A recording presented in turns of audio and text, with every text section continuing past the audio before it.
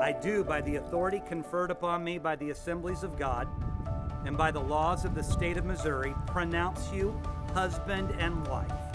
No longer two, but now one, in the name of the Father, and the Son, and the Holy Spirit. John, you may kiss your bride.